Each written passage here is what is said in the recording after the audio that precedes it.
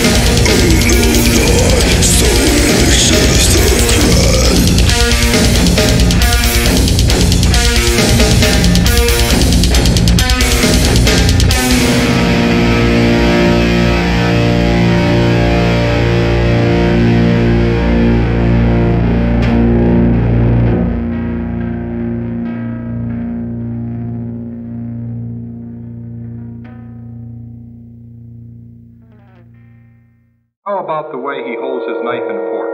Or the way he cuts his meat? Could that be alright?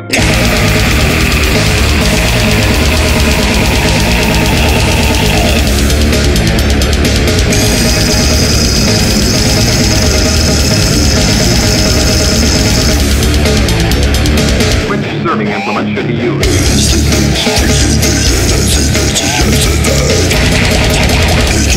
Yeah.